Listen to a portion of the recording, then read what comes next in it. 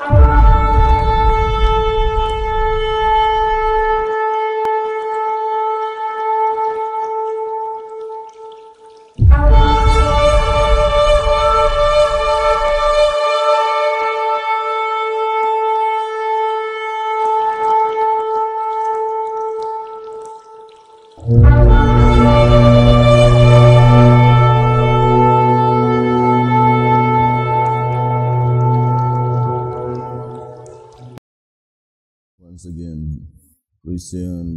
greetings to all our valued listeners and viewers throughout the whole world, more particularly to all Shepherd's Rod believers, and most especially to our beloved brothers and sisters in the United States of America.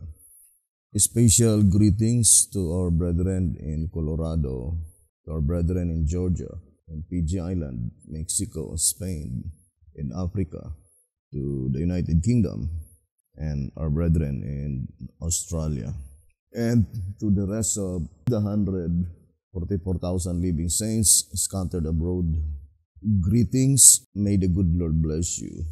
This is our episode number four on the subject, the last three Wu trumpets. Now let us continue our study and to repeat again the the Bible and Revelation 9 verse 11 was illustrated by the name Abaddon, the Old Testament, and the name Apollyon represent the New Testament according to track number 5 page 70 and on the sixth trumpet uh, revelation 11 verse 5 the bible is represented by the two olive trees whereas on revelation 6 verse 6 the bible is represented by oil and wine the old testament represented by oil and the New Testament represented by wine. And the only way by which this tree will find its perfect fulfillment, Revelation 9 verse 11, Revelation 11 verse 5, and Revelation 6 verse 6, is in connection with the occurrences in the heavenly sanctuary. We already read that according to track number 5, page 72, such verse in Revelation chapter 9, verse 11, is connected to that parabolical prophecy in Luke 19, verse 14. And we know that the perfect fulfillment of Luke chapter 19, verse 14, is in the time of the purification of the church. Now let us read again uh, the statement on uh, the old symbolic code in 5 symbolic code 6 to 12 page 15 saying no one denies the fact that a number of times in the scriptures Christ is called a man but you surely will not try to make me believe that the man in Luke 19:14 is Christ himself. I care not how spiritually blind you may be. You can still see the literal part of the scripture that at the time those citizens sent the message, Christ was in heaven and the man whom they did not want to reign over them was on earth and that this happened before Christ returned. And on track number 6 on page 55, it says, The scripture make clear that while in the sanctuary, Christ receives the kingdom after the thrones are cast down and after the investigative judgment is completed before his second coming. That this is so is further evidence by the parable of Luke 19 verse 15, which states that Christ receives the kingdom and that afterwards he comes to slay his enemies. So the shepherd's rod is very plain that after Jesus Christ receives the kingdom, he will return to the earth to slay his enemies. Track number 6, page 55. Now, let us connect again answerer number 2. On page 88, it says, bringing into prophetic focus the same event Jesus declared parabolically. A certain nobleman went into a far country to receive for himself a kingdom and to return Luke 19 verse 12. Note that he receives the kingdom, acquires ownership of it while he is away, not when he returns. Answerer number 2, page 88. So that is very plain that Jesus Christ acquires ownership of that kingdom while Jesus Christ was still in the heavenly sanctuary and not to the time when Jesus Christ returned, or not at the time when Jesus Christ arrived to the earth, but while Jesus Christ was still on the heavenly sanctuary. Now, I would like to connect the statement in the old symbolic code. So it says here, 1 symbolic code number 3, page 4. Christ has further illustrated this incident in the parable of Mark 13, verse 34 For the Son of Man is as a man taking a far journey, who left his house and gave authority to his servants and to every man his work, and commanded the porter to watch. Without any doubts, Mark 13, verse 34, is the same parabolical prophecy in Luke chapter 19 on verse verse 12. He said, Therefore, a certain nobleman went into a far country to receive for himself a kingdom and to return. Luke 19 verse 12. And in Mark 13, 13 verse 34, the statement is, The Son of Man is as a man taking a far journey, who left his house and gave authority to his servants and to every man his work, and commanded the porter to watch. Then it says, After a long time, from his ascension. So that is pointing to the ascension of Christ at the end of the 40 days. May 27, 31 AD, Thursday. It says, after a long time from his ascension to the purification of the church. So Luke 19, verse 12 to verse 14 is pointing to the purification of the church. That is the time by which Jesus Christ appoint someone to reign in his stead. Now let us read again in one symbolic code number 3, page 4. After a long time, that is from his ascension to the purification of the church, the Lord of those servants cometh and reckoneth with them. Matthew 25 verse 19. Consequently, the period of his absence ends at the purification of the church, at which time he reckons with his servants and himself taketh charge of his flock. But the fact is that Jesus Christ taketh charge of his flock, reigning his people by appointing someone to reign in his stead, according to the Bible as explained by the shepherd's rod. Now, the shepherd's rod declared clearly in track number 8, page 29 and page 30, it says, Also, there are two distinct parables of the talents. First, Matthew 25, verse 15 to 30, and second, Luke 19, verse 13 to 27, both of which pointedly enter the picture in its present setting. In the one are three servants, in the other ten servants. This significant difference shows that the former has only a local application, whereas the latter has a worldwide application.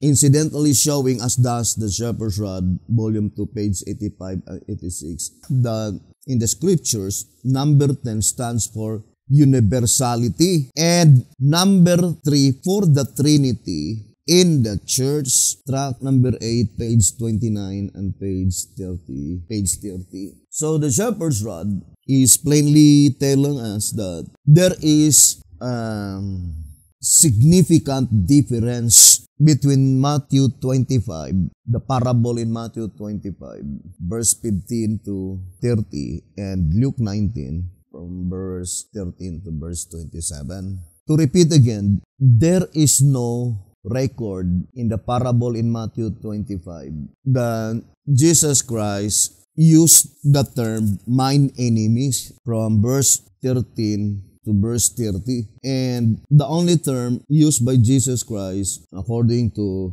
verse 30, it says, And cast ye the unprofitable servant into outer darkness, there shall be weeping and gnashing of teeth. So among the three servants, only one called by Jesus Christ as unprofitable servant. But there is no record in Matthew 25 that God had said, mine enemies. It is only found in Luke chapter 19. Now let us read again on Luke 19 on verse 27. It says, But those mine enemies, which would not that I should reign over them, bring hither and slay them before me. So only in the parable in Luke 19 that God called them mine enemies. Who are they? Those who refuse to receive that man that God hath appointed to reign in his stead. And the shepherd's rod remind us that that difference is very significant. Uh, track number 8, page 29 and 30.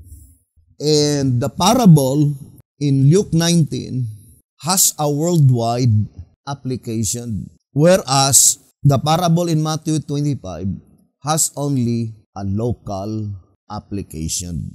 Worldwide and universal is the same because number 10, according to track number 8, page 29 and 30, indicates universal, also worldwide, according to the statement or worldwide or universal application.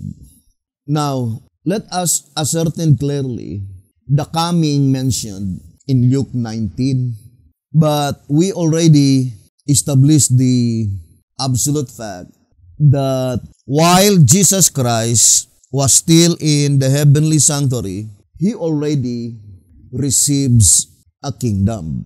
And according to answerer number to page 88, acquires ownership of it. Without any doubts, the kingdom mentioned there is the kingdom church or the 11th hour uh, ministry. Now, let us connect the reading on Christ Object Lesson, page 68 and page 69. So let us read. The fruit of the Spirit is love, joy, peace, long-suffering, gentleness, goodness, faith, meekness, temperance. Galatians 5 verse 22 and 23. This fruit can never perish, but will produce after its kind a harvest unto eternal life. When the fruit is brought forth, immediately he put it in the sickle, because the harvest is come. Now, this statement can only be found in Revelation 14. Now, let's continue reading and then go to Revelation 14. When the fruit is brought forth, immediately he put it in the sickle. Because the harvest is come, Christ is waiting with longing desire for the manifestation of himself in his church when the character of Christ shall be perfectly reproduced in his people then he will come to claim them as his own. A Christ Object Lesson, page 68 and 69.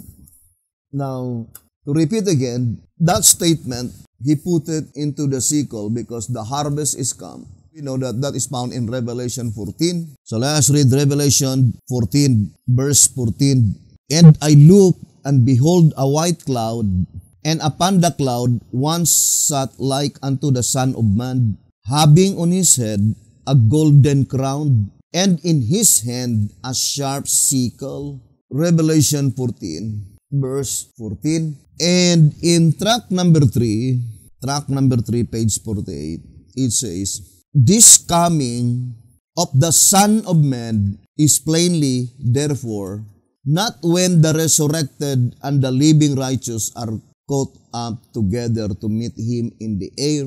For verses 17 to 20, following the ones quoted in the paragraph above, so that is pointing to Revelation 14, verse 14 to 16, revealed that after he came and reaped the earth, another angel having a sharp sickle came and reaped a second harvest before the wrath of God, the seven last plagues, was poured out upon the wicked. And the quotation is Revelation 15, verse 1.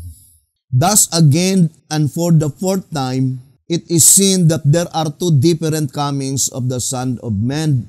The one to sever the wicked from among the just in the church, Matthew 13, 49, and then immediately to call the just from among the wicked in Babylon, Revelation 18.4.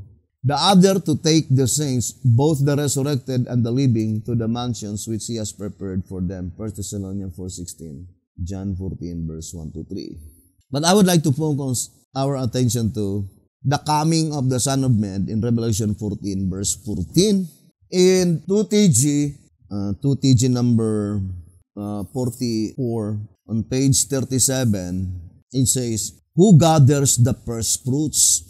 If the first fruits gather the second fruits, then it says, let us find our answer by reading Revelation 14, 14 to 19. I will no longer read Revelation 14, 14 to 19. It says, Here we are again told that there are two reapings, one by the Son of Man and another by an angel.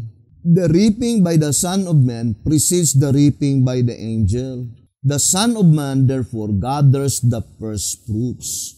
So it is the Son of Man that gathers the first fruit, or the Son of Man himself obviously reaps the first fruits. 2TG 44, page 37. But in Christ's object lesson, page 68 and page 69, that coming of Jesus Christ to harvest the 144,000 living saints is at the time by which there is a church on earth that Jesus Christ claimed them as his own. But the absolute fact is that, according to answerer number 2, page 88, he acquires ownership of it while Jesus Christ was still in the heavenly sanctuary. So, when Jesus Christ arrived to the earth, that is the material side by which Jesus Christ claimed them that such movement is his own movement. Now, without any doubts, it could not be the movement in Luke 19, but rather it is the movement in the parable of Matthew 25. Because number 3 indicates the Trinity in the church. Now, I would like to read uh, this reading in 1934, track 3, 1934 edition. It says here on page 68, as our world is about 6,000 years old, then in order to prove that the 40 days of His presence with the disciples were symbolical of His being the Savior of the entire world under sin, we must multiply the number of His name, 3, with the symbolical time 40 of gathering his people, which gives the equation 40 times 3 equals 120. The number here derived being the exact number of the first fruits on the day of Pentecost proves that the little group was the product of the true church, the effort of the Father, Son, and the Holy Ghost.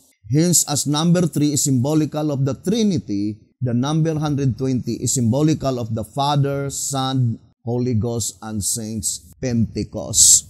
So that is very plain, uh, brothers and sisters. The, the number 120 is symbolical of Father, God the Father, Son, Holy Ghost, and Saints. And it says that is symbolized by Pentecost. And number three signify the Trinity in the church, by which the Shepherd's Rod called it the true church.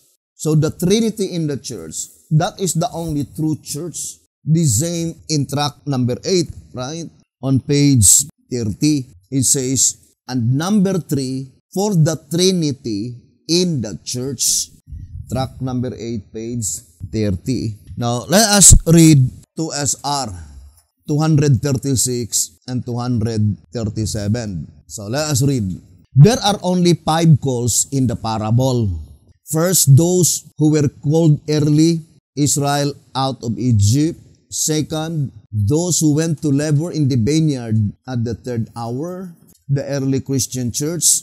Third, the six-hour call, William Miller and his co-workers. Fourth, the ninth hour call, the third angel in his first cry after 1844. Then fifth, the eleventh hour call, the loud cry of the third angel's message. As number seven is used in every one of God's finished acts to denote completeness, there must have been two such calls before Israel's time. Otherwise, it would show incompleteness in the proclamation of the gospel. And Enoch, also the seventh from Adam, prophesied of this, saying, Behold, the Lord cometh with ten thousands of his saints. Jude verse 14. Then it says, As Enoch had a worldwide message of the coming of the Lord, his message is the first call. Noah's call is the second from creation. Therefore, seven in all, seven in all, meaning perfect, finish the end of the gospel.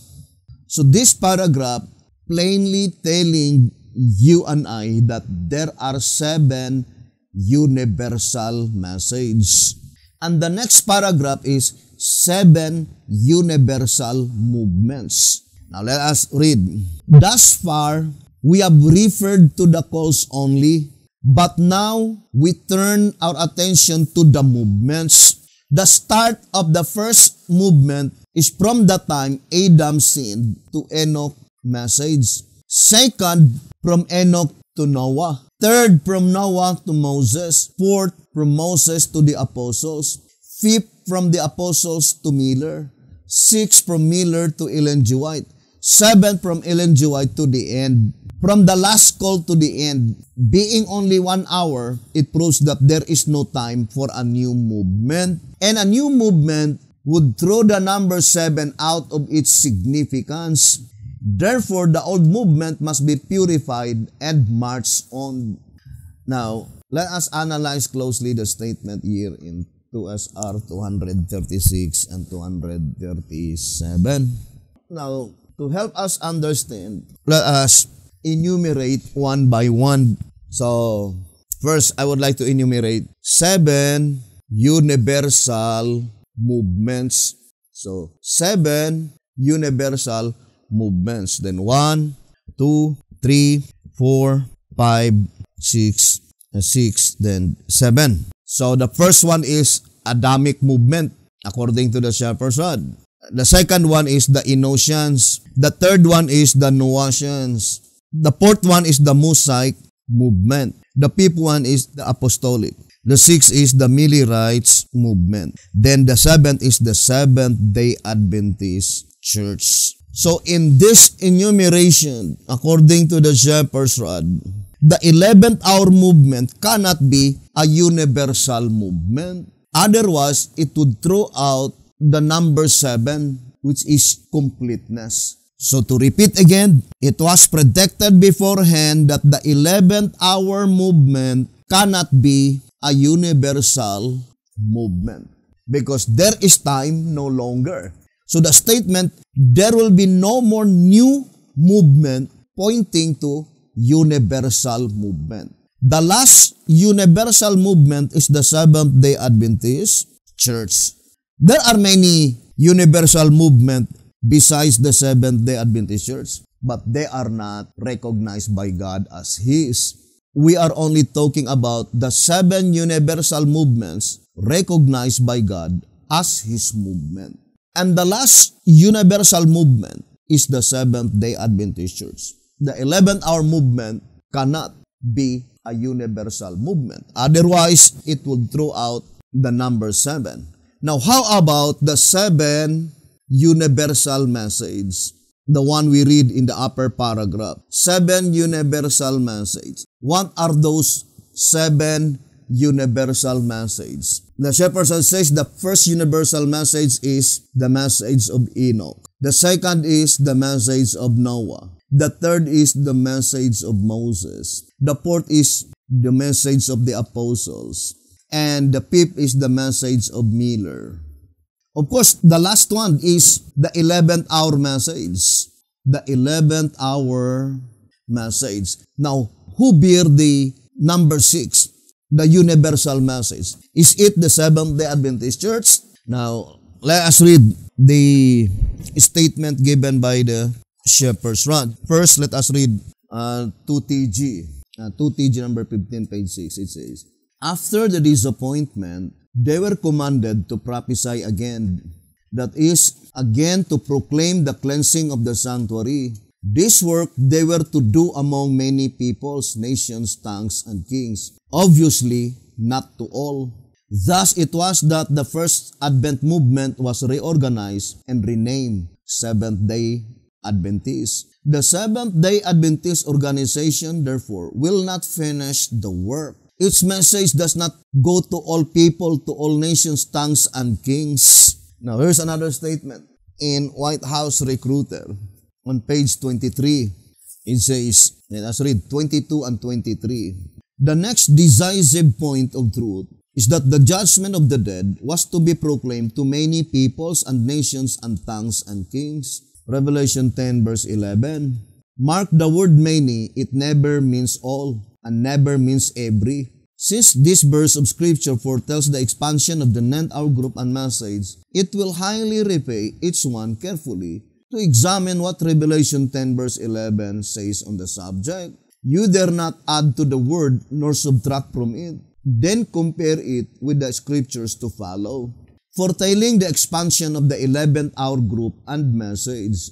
And you will have the whole truth in reference to the finishing of the work. Now that the time has finally come for the Lord to recruit His 11th hour servants, this priceless parable is unfolded, and for the first time it is plainly seen that whereas the judgment of the dead was to be proclaimed to many nations and people, the judgment of the living is to be proclaimed to all nations and to every people on earth. Here is what inspiration itself says. And I saw another angel fly in the midst of heaven, having the everlasting gospel to preach unto them that dwell on the earth, and to every nation and kindred and tongue and people, saying with a loud voice, Fear God and give glory to him, for the hour of his judgment is come, and worship him that made heaven and earth and the sea and the fountains of waters. Revelation 14 verse 6 and 7. I think those two passages is sufficient enough to establish the absolute fact that the message that was entrusted by God to the Seventh-day Adventist Church, which is the judgment that pertains to the dead, it is not a universal message. And the only message by which the expansion is worldwide is the 11th hour message.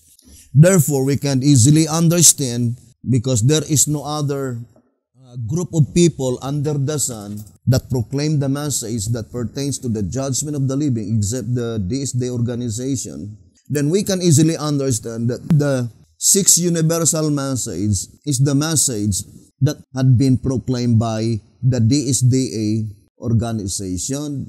But this number six is even more pertaining to the seven antitypical brothers of David. So, the 11th hour is the eighth church that is antitypical David. So here we can easily discern that the Seventh-day Adventist Church is a worldwide organization, a universal movement. But their message is not universal.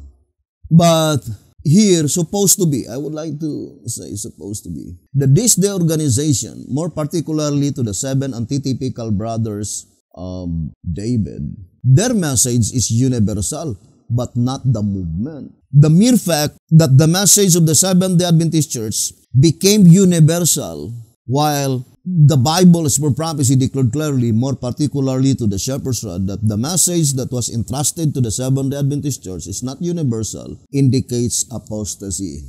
It is no longer the message that was entrusted by God to the Seventh-day Adventist Church that they were proclaiming. Because if the message that was entrusted to them is the message that they were proclaiming, their message will never become universal. But the fact that their message became universal indicates apostasy. For example, the third angel's message in its primary phase, judgment that pertains to the dead. Look at what happened to the Seventh-day Adventist Church. Violating the fourth commandment, cooking food during Sabbath, and eating flesh food.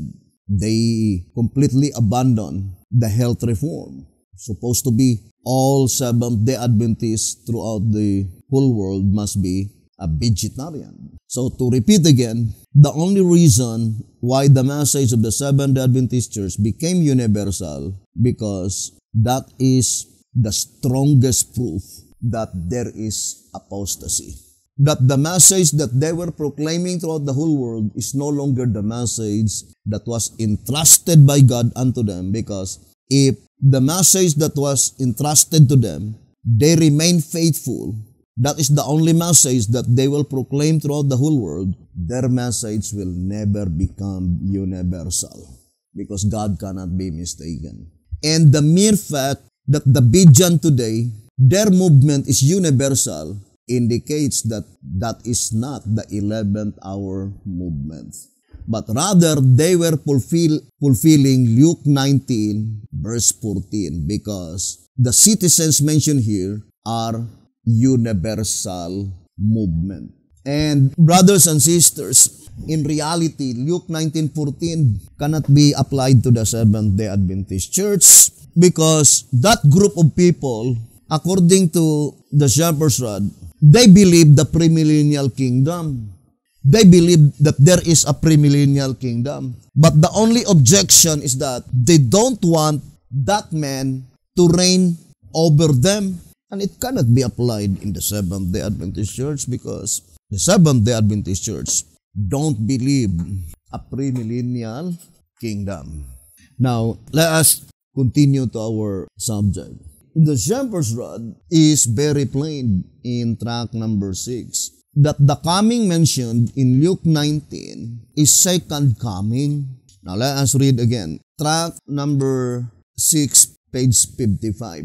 The scriptures make clear that while in the sanctuary Christ receives the kingdom, after the thrones are cast down. It did not say, after the thrones were cast down, but inscribed in present occurrence.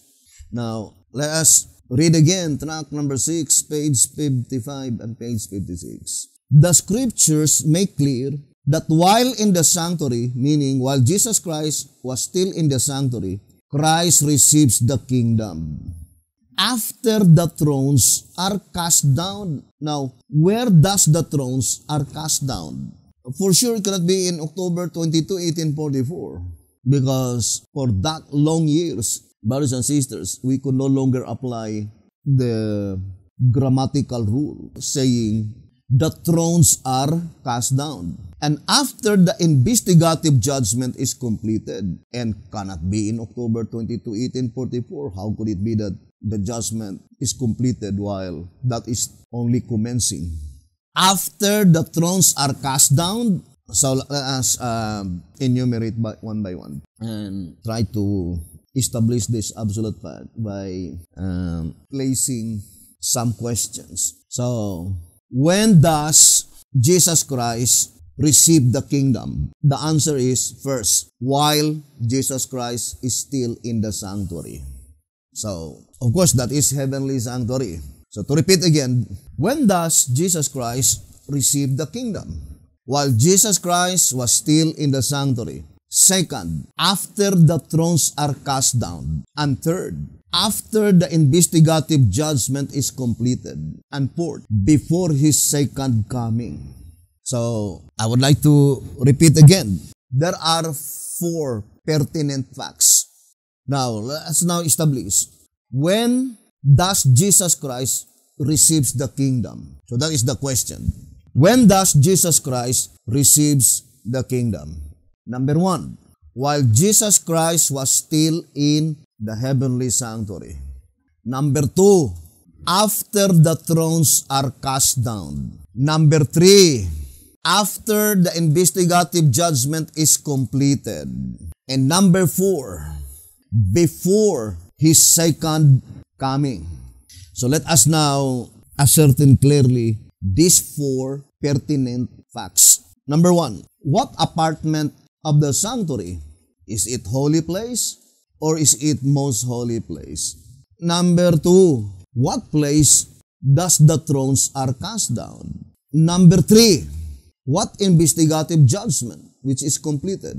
Is it the investigative judgment in the holy place? Or is it the investigative judgment in the most holy place? Number four, what coming? Is it Christ coming to the earth or Christ coming to the heavenly sanctuary?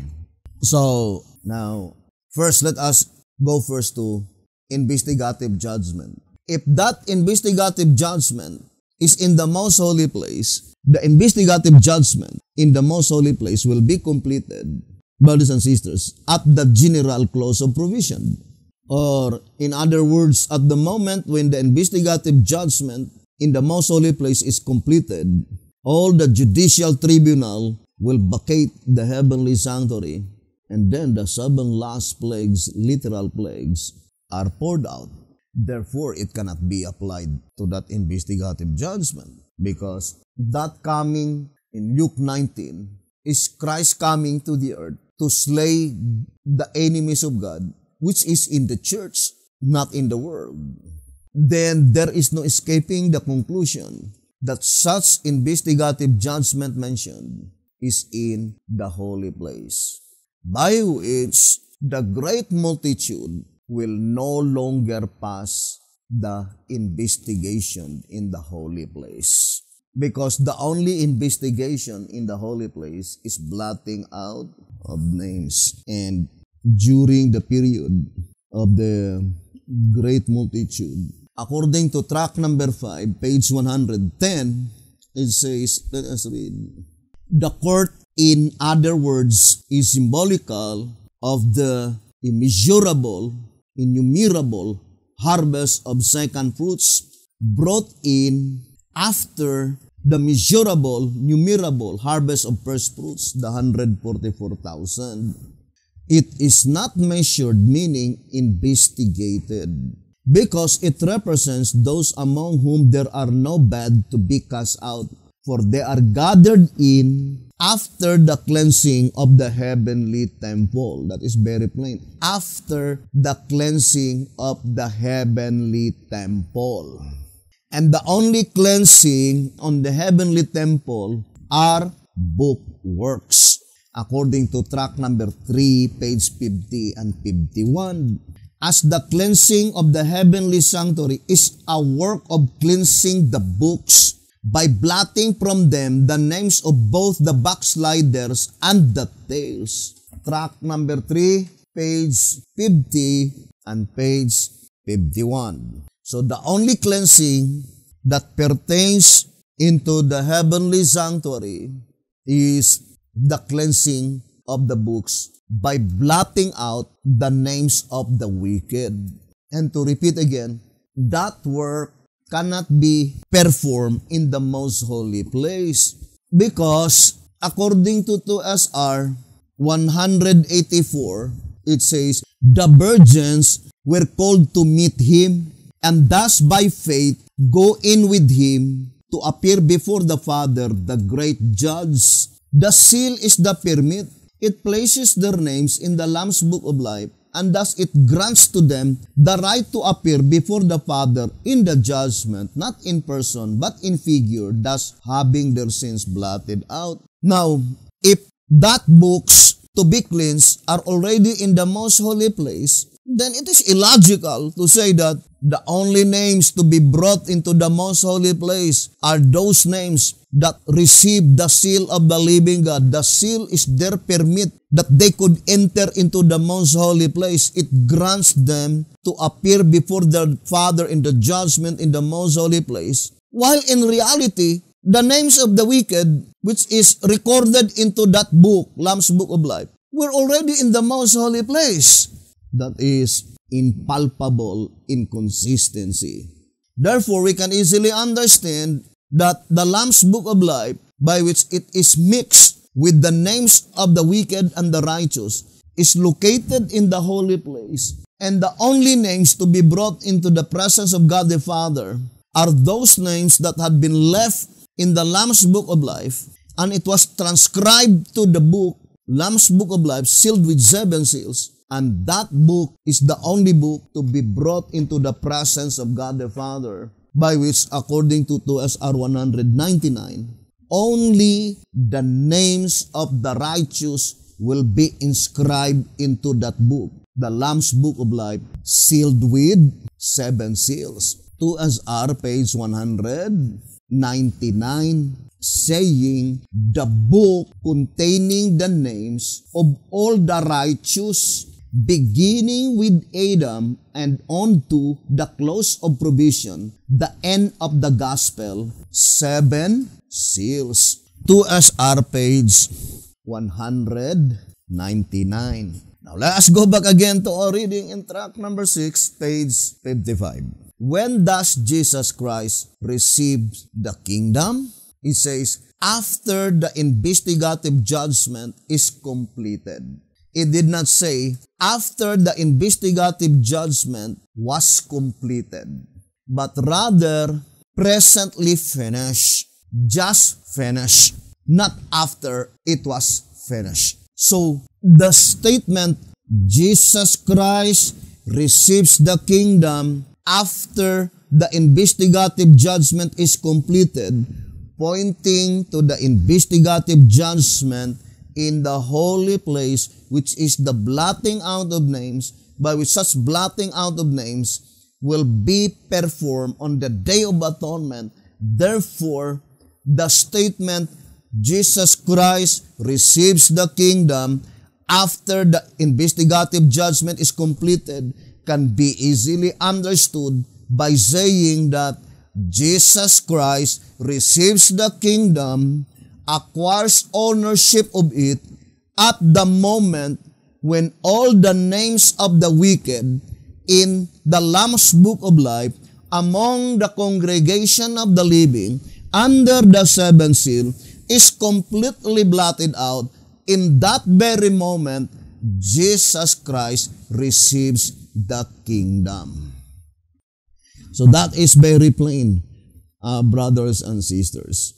What does it mean by receives the kingdom? Acquires ownership of it. Now let us read first track number 3, uh, pages 73 and 74.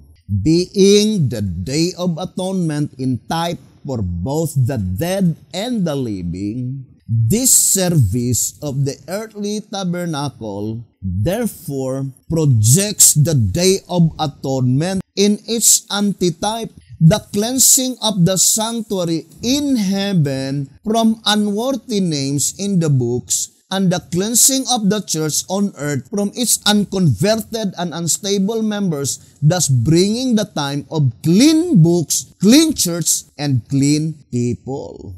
So after or at the moment when all the names of the wicked under the congregation among the living were completely blotted out. At that moment, then the books are cleansed.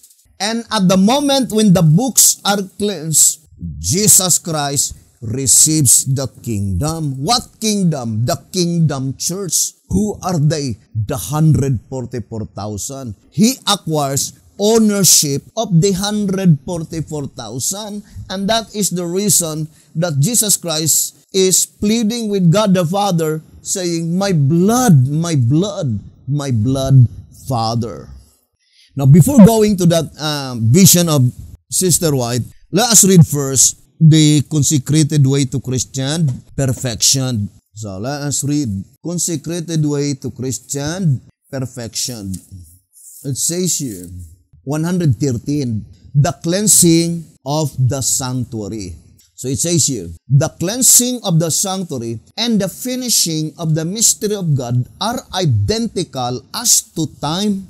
Now, brothers and sisters, what does it mean by the word identical? Let us define first in a dictionary. The word identical is an adjective and it says similar, alike. So, for example, if you will say identical twins, meaning both of them are male or both of them are female. That's what it means by the word identical, equivalent, parallel. And the word parallel meaning equidistant or the distant is equal. Now, let's read again the statement here. In Consecrated Way to Christian Perfection, page 113. The cleansing of the sanctuary and the finishing of the mystery of God are identical as to time and are also so closely related as to be practically identical in character and event. Then he says, the finishing of this work of the sanctuary and for the sanctuary was likewise the finishing of the work for the people.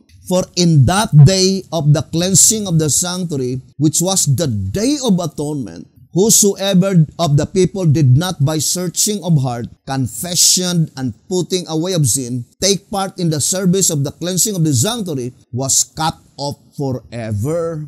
Thus, the cleansing of the sanctuary extended to the people and included the people as truly as it did the sanctuary itself and whosoever of the people was not included in the cleansing of the sanctuary and was not himself cleansed equally with the sanctuary from all iniquity and transgression and sin was cut off forever. And say Leviticus 16 verse 15 to 19 and 29 to 34 and Leviticus 23 verse 27 to verse 32. Consecrated Way to Christian Perfection, page 113. Now, remember, the shepherd's rod declared clearly here in White House Recruiter, page 21. It says, And that anyone who then, during the antitypical day of atonement for the dead, should be found among the dead with his sins unconfessed, his soul not afflicted, and without the wedding garment on, would be cut off from among his people. Matthew 22 verse 11 to 13 and Leviticus 23 verse 29.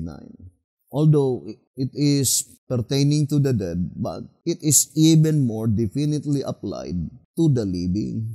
That those who will not afflict his soul, they will be cut off forever. Now, I would like to read 1 SR, page 177. It says, That is, after the separation, purification, those who are left, the 144,000 being the remnant, the affliction is the time of purification. So when does the time of affliction? That is the time of the purification of the church. And the purification of the church is also called the cleansing of the sanctuary, by which that event is identical to God's people on the earth. Now let's go back to our subject. We already proven with absolute fact that accordingly, Jesus Christ acquires ownership of it. While Jesus Christ was still in the heavenly sanctuary, while Jesus Christ was still on the heavenly sanctuary. But the question is, what apartment? That he acquires ownership of it without any doubt, that is pointing to the apartment in the holy place. Because that investigative judgment which is completed cannot be in the most holy place. Otherwise, we will be saying that at the time when the investigative judgment in the most holy place is completed, that is the time that Jesus Christ acknowledged a church on earth as his own. By which at that time, that is the general clause of provision. Contrary, contradictory to all the prophetic events. So let us now um, try to elaborate that statement in track number 6, page 55. First, immediately after all the names of the wicked among the congregation of the living, the investigative judgment is completed. Then Jesus Christ acquires ownership of those names that had been left written in the Lamb's Book of Life, that they are all as His. And it was proven in the vision of Sister White in early writings, page 38. It says, I saw four angels who had a work to do on the earth and were on their way to accomplish it. Jesus was clothed with priestly garments. He gazed in pity on the remnant, then raised his hands and with a voice of deep pity cried, My blood, Father, my blood, my blood, my blood. So this pleading of Jesus Christ, he acquires ownership of those names that had been left written in the Lamb's Book of Life. And he pleaded with God the Father. Now let us continue reading. Then I saw an exceeding bright light come from God, who sat upon the great white throne and was shed all about Jesus. Now, it answers the question, where is that place by which the throne were cast down? That is on the great white throne. And that is the reason why I would like to read to TG number 12 on page 29. It says, The revelation, moreover, in the following verses again and again endeavors to make us see that the event there portrayed is the judgment in session. And the quotation is Revelation 14 verse 7. Fear God and give glory to Him for the hour of His judgment is come. But it was attached. Revelation 20 verse 4. Revelation 20 verse 4 is pointing to the great white throne. And I saw thrones, John declares, and judgment was given unto them. Now, let us read track number 15, page 23, so that we could understand. Concerning that great white throne. Revelation 20 verse 4. It says, the one we read in 2TG 1229. Track 15, page 23. Moreover, as there is but one judicial sitting during the millennium, the thrones of verse 4 must be in session jointly with the great white throne. So what is Revelation 20 verse 4? It says that is connect to the great white throne. Furthermore, it is not likely that the great white throne would be in session all by itself. Here we can easily see that the great white throne recorded in Revelation 20 verse 4. We know that the great white throne is found on Revelation 20 verse 11. Right? That is in Revelation 20 verse 11. And the Shepherd's Rod declared clearly here in track 15, page 23, that it is during the millennium, 1,000 years during the millennium, when the earth became the bottomless pit. Now let us read track number, track number 5 on page 60. It says, Since the bottomless pit of Revelation 20 verse 3 is symbolical of the earth as a prison house during the millennium. Then the bottomless pit of Revelation 9 verse 1, being identical, must likewise be symbolical of the earth as a prison house at another time. The shepherd's rod is very plain that Revelation 9 verse 1, that bottomless pit is the symbolical earth or symbolical of the earth. And we always emphasizes in track number 5, page 26, the question symbolical or literal, which? And the Shepherdson says that only when this question is positively answered that we could be able to understand this prophecy. And in track number 5, page 41, it says, For if every term are not symbolical, then how should we differentiate those which are and those which are not? And how shall we be able to define the truth? Therefore, Revelation 9 verse 1, being a part of the trumpet study, the fifth trumpet, the perfect fulfillment must be pointing to the symbolical earth, by which such symbolical earth became the bottomless pit. What does it mean, became the bottomless pit? Now let us read page 61 in track number 5. It says, The very fact that God's people are vested with the power to keep open the bottomless pit, then should they be defeated, the pit would be shut and would become a prison house from which there would be no escape unless it be reopened.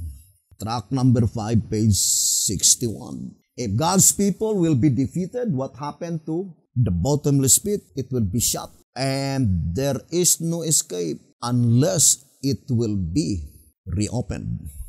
Now, in the subject, um, the beast study to SR page 97, let's read to SR page 97. It says, By the divinely called movement and aided by the writings of the spirit prophecy, God's intention was to keep the deadly one on the head. But the prophetic word of God says his deadly wound was healed. Since God's holy word declares that the wound was healed, and as the prophecy cannot be broken, it is positive that the wound is healed. But if Protestantism, by obedience to God's word, is what inflicted the wound, then true Protestantism only can keep the painful sore on the head. If the wound is healed, then it is evident that they to whom God had committed the message for a perishing world had been defeated in the same manner as every movement since the world began. That is very plain. But the most startling revelation is that in the last period of the exceeding great horn, it is not only the sanctuary itself that had been trodden underfoot, but the place itself. That is very plain in track number 4, page 26. What does it mean? By trodden underfoot. In the parable of Jesus Christ in Matthew 5, verse 13, taken for granted. Christ's mediatorial work in the heavenly sanctuary became obscured. According to track number 4, page 26, note that the truth and the place, not the sanctuary itself, were cast down. That is, both Christ's truth and His place. What is the truth? The daily and the sanctuary. And what is the place? That is the vineyard. The vineyard became the dragon's headquarters. It says, and his place in the early sanctuary were set aside, so that the knowledge as to his mediatorial work became obscured. I will no longer elaborate that portion because we studied that several times. But I would like to emphasize now the momentous event that soon, very soon, will be fulfilled. Brothers and sisters, now the word identical meaning uh, similar or parallel, but for sure, uh, brothers and sisters, the the bottomless pit um, during millennium we know that that is 1,000 years. The earth became bottomless pit by which at that time all the wicked human beings were dead and only the fallen angels together with Lucifer were on this earth. But the bottomless pit in Revelation 9 verse 1 pointing to the symbolical earth indicates that it was predicted beforehand that the symbolical earth the horn shall be rule all over the earth. To SR 139. When? On the brass kingdom. Is it Grecia? No. Brass has a numerical value of number 3 track number 2, page 13. So, indicates that it is on the third period because the exceeding great horn is divided into three periods. Pagan, ecclesiastical, and Protestant. Track number 3, page 39. And it was predicted beforehand that in the Protestant period, the vineyard, which is Palestine, track number 12, page 43, by which the modern Palestine is the United States of America, 1 SR page 158, had been completely defeated by the devil, that the entire two-horned beast domain brothers and sisters, were in total darkness concerning the proceeding in the heavenly sanctuary, even in the very moment by which the judgment for the living is in progress, they have no knowledge at all. By which, before Jesus Christ begin the proceedings of the judgment for the living on earth, Jesus Christ first came to this earth and give message to Ezekiel by which it was illustrated that the message that was given to Ezekiel is the Bible. That is the Bible.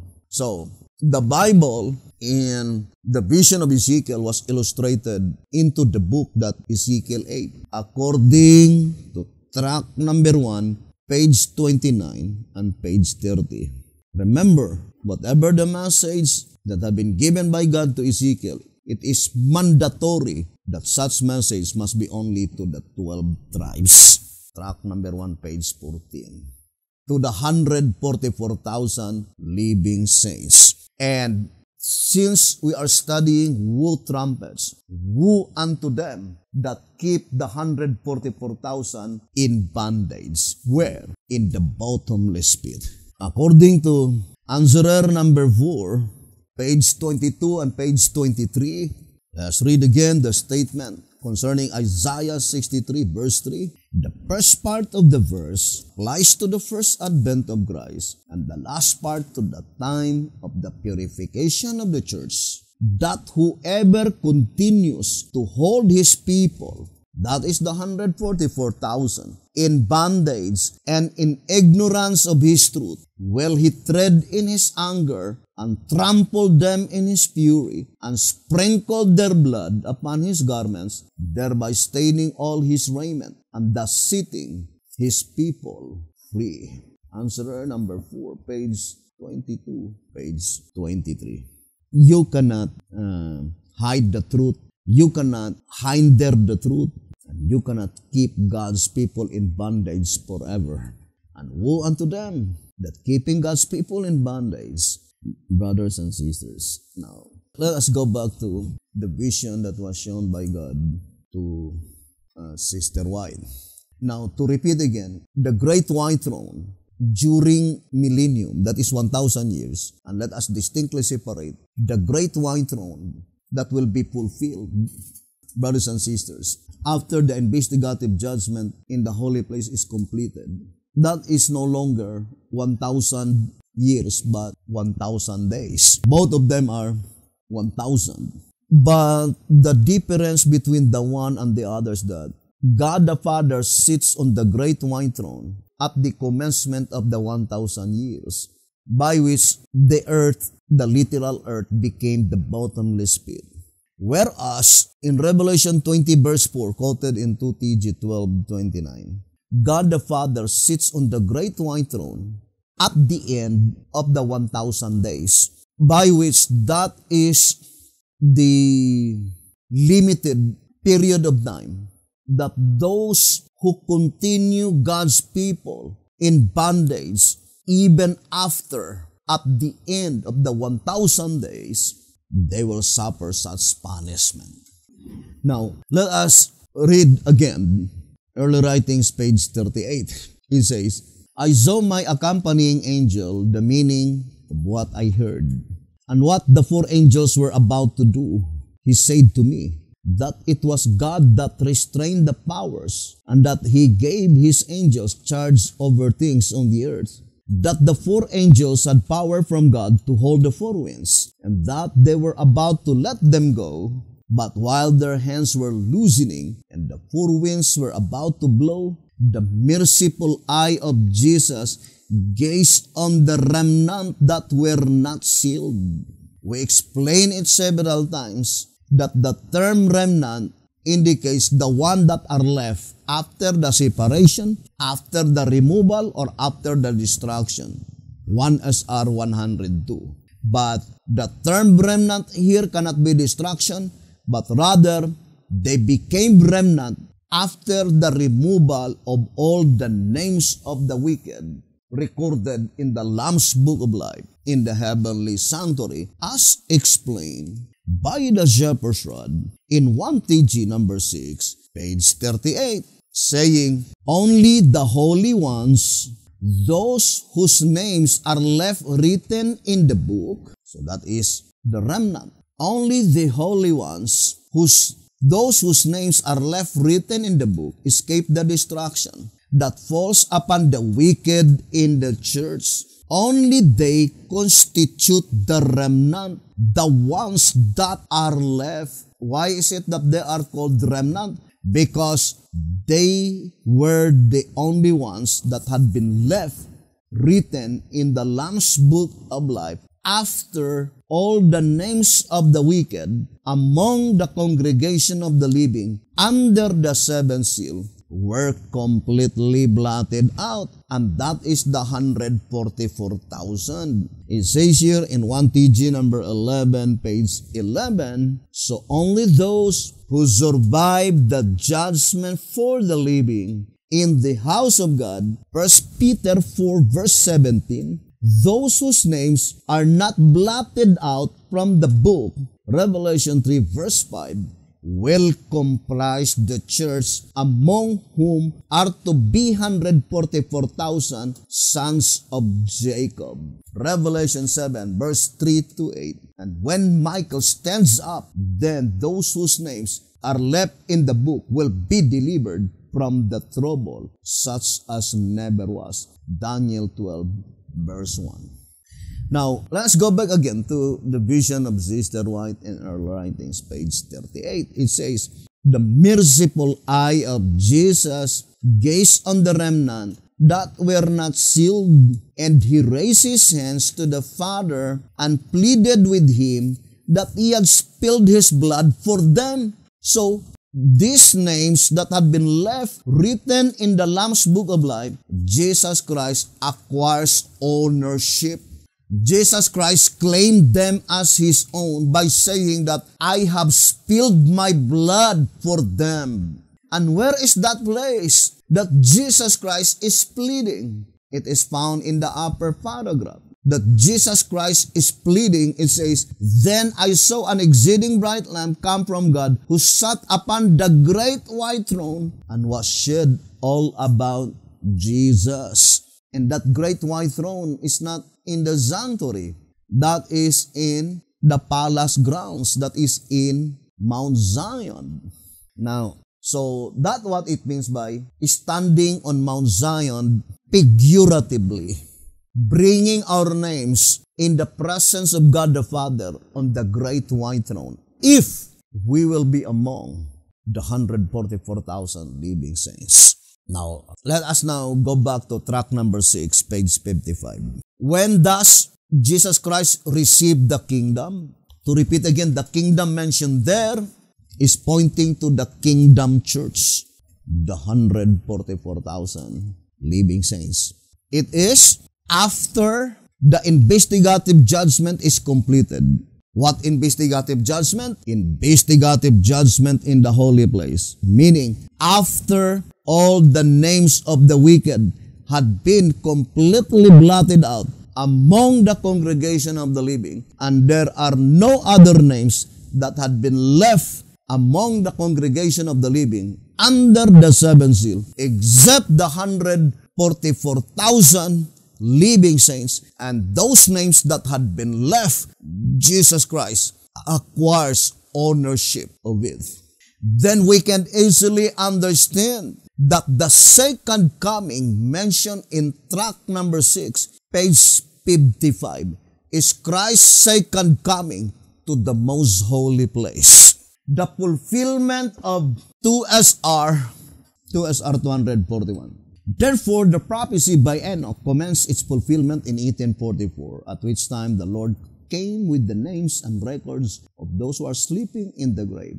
And when the investigation of the dead is finished, then he comes with the names of the living saints, first with the 144,000.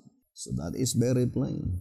Jesus Christ bringing the names of the 144,000. But since at that time, God the Father is no longer in the most holy place, but sitting on the great white throne, therefore Jesus Christ enter to the most holy place, down to the place where God the Father is sitting. Therefore, the thrones that had been cast down are the thrones on Mount Zion.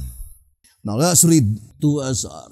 2SR page 170 and 171. Chapter 14 verse 1. And I looked and lo, a lamp stood on the Mount Zion, and with him an hundred forty and four thousand, having his father's name written in their foreheads. The lamp denotes Christ, signifying the position he occupies before the close of provision, while yet interceding for his people.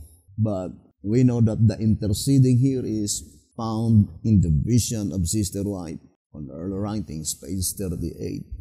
He pleaded God the Father to hold the four winds first and to let the four angels bearing slaughtering weapons in their hands to stand by because he acquires ownership of those names that had been left written in the Lamb's book of life. And he emphasizes saying, My blood, Father, my blood, my blood.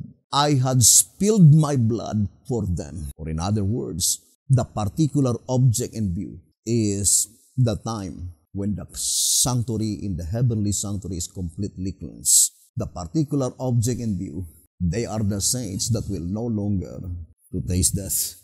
Now it says here, let's read again. The lamp denote, denotes Christ, signifying the position he occupies before the close of provision, while yet interceding for his people. Therefore, the specific number of saints stand with him on earth while he is yet in the most holy place. Mount Zion in Old Jerusalem was an ancient spot of the city and the place of the real residence of David and his successors. Therefore, from that viewpoint, we must present the meaning of the lamp that stood on the Mount Zion. We are told by the following scriptures, the Lord had made a promise that the house of David, Mount Zion, was alive to him and to his sons forever. So that is very plain, brothers and sisters. And it says, Howbeit the Lord would not destroy the house of David because of the covenant that he had made with David. And as he promised to give a light to him and to his sons forever. Second Chronicles 21 verse 7. The promise was not to Mount Zion, house of David, in ancient Jerusalem, for the existence of the Jewish nation was conditional. Therefore, when that house of David will be in existence, the existence of that house of David is no longer conditional. What does it mean by conditional? Meaning it can be easily understood when the house of David will be in existence, there is no more prophecy that that ministry, that that church would be apostatized. It is very important, brothers and sisters, because we know that Accordingly, um, in 1 TG, I would like to read 1 TG number 18. On page 14, it says, Thus one event is contingent upon another, one following the other. The last of which in this chapter is the great mourning in Jerusalem. In the day of this event of mourning, therefore the fountain for, this, for sin and for uncleanness is opened let us now connect Zechariah 13 verse 1 with verse 2. In that day, Zechariah 13 verse 1 and 2. In that day, in the day the great mourning takes place, there shall be a fountain open to the house of David and to the inhabitants of Jerusalem for sin and for uncleanness. And it shall come to pass in that day, saith the Lord of hosts, that I will cut off the names of the idols out of the land, and they shall no more be remembered. And also I will cause the prophets and the unclean spirit to pass out of the land. Then this is commentary given by the Champer's Rod, 1 TG number 18, page 14. Two things now stand out clearly in these verses. Number one, that the house of David must come into existence before the cleansing fountain is opened. So that is very definite that the house of David must come into existence before the cleansing fountain is opened. And when that house of David will be in existence, it is no longer conditional because God's promise it says that when that house of David will be in existence, the covenant that had been promised by God will be fulfilled unto them. forever. Second, that the cleansing begins with cutting off the names of the idols. Now, in what way by which the names of the idols will be cut off? It is pointing to the occurrence in the heavenly sanctuary. And it says, and throwing out of the land the false prophets and the unclean spirits. The false prophets mentioned here, without any doubt, they are the prophets of Baal. Now, let us go back to 2SR 171. It says, Now to Abraham and his seed were the promises made. He said not, and to seeds as of many, but as of one, unto thy seed, which is Christ, the Son of David. Galatians chapter 3 verse 16. Therefore, Mount Zion, as in Revelation 14 verse 1, is the eminent royal spot in the heavenly Jerusalem. As David himself says, For there are set thrones of judgment, the thrones of the house of David. Psalms 122 verse 5. So the thrones mentioned in track number 6 must be the thrones of judgment, the thrones of the house of David. Where is that place? Mount Zion, according to the reading. Then it says, David looked forward to the time when the judgment on, in heaven would be set up. In that day, there shall be a fountain open to the house of David and to the inhabitants of Jerusalem for sin and for uncleanness. To us are page 170 and 171. So, to repeat again, brothers and sisters, I would like to uh, make a recapitulation to our study there are two parables, Luke 19 and Matthew 25. And there is a very significant difference between the two parables according to track number 8, page 29 and page 30. The parable in Matthew 25 represents the true church because number 3 represents the Trinity in the church. Track number 8, page 30. And number three indicates local application. And that is the 11th hour church because the 11th hour church is not a universal movement. Therefore, if the movement you belong is a universal movement, that cannot be the 11th hour church, but rather they must be belong to that ministry because servants represent ministry. 1 TG 39, page 8. And 10 servants indicates universality, worldwide, by which the Bible says they are the enemies of Jesus Christ. Luke 19, verse 27. Why? Because they were the very ones who hindered the message. They were the very ones who speak evil against the message. They were the very ones that keeping God's people in bondage not forever. And that time is no longer far distant, brothers and sisters, when the boundary line will finally arrive. That is the time when Jesus Christ will come, and that is the fulfillment of Malachi 3, verses 1 to 3.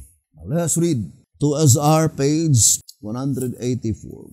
It says here, the description by Daniel applies to the commencement of the judgment for the dead, but the one by Malachi 3 verse 1 to 3 uh, is applicable to the judgment for the living. All of the same event, Day of Atonement, cleansing of the sanctuary. So, that is very plain, brothers and sisters. Now, I would like to read 12 symbolic code 6 and 7, page 5. But I would like to to begin on page page 4. It says here, it is concerning Matthew 3 verse 11 and 12, although we'll discuss it on the next episode. It says, since those persons whom John baptized and even many that were baptized later are now dead. Now, this statement, let us apply to also to BT Hotep. All of them are now dead they will not meet the Lord except they be resurrected. Which fact causes us to understand that they were baptized for the resurrection. So, Bidhotep was among them that had been baptized for the resurrection. they were baptized for the purpose for the resurrection according to this reading. And then it says, in other words, had they not performed their duty of baptism, they would not rise in the first resurrection, nor would they enter the kingdom of God. We must bear in mind, however, that the judgment precedes the resurrection. It says, the judgment must precede the resurrection. What's judgment?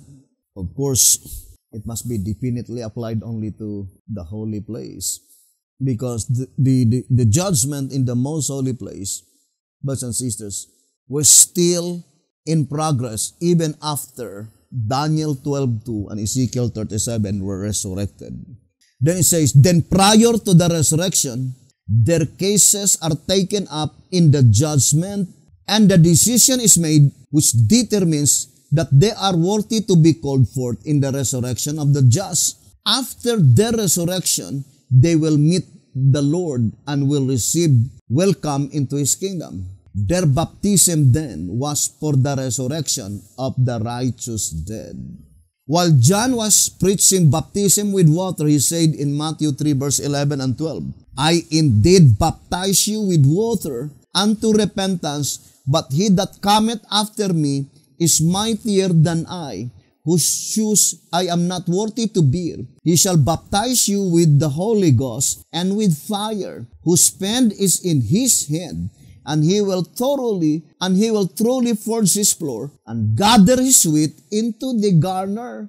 But he will burn up the chaff with unquenchable fire. Who are they the wheat? Let's read 1 SR 228. It says, the wheat represents the 144,000. Who will gather the 144,000? Jesus Christ. So that is the fulfillment in Matthew 3 verse 11 and 12. Then it says, page 5, Tum Symbolico number 6 and 7, page 5.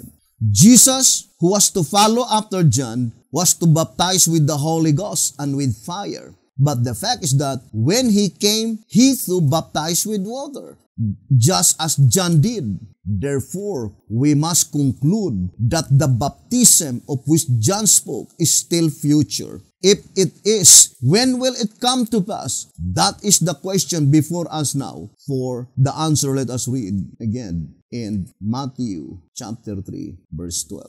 But Brethren, this subject uh, will continue in our next episode and we will show to you the exact time, the appointed time, the certain time by which that fulfillment, baptism with fire, baptism with Holy Ghost and fire will finally be fulfilled brothers and sisters, on our next episode. So thank you very much for listening and viewing this program. May the good Lord bless you and have a beautiful, wonderful evening.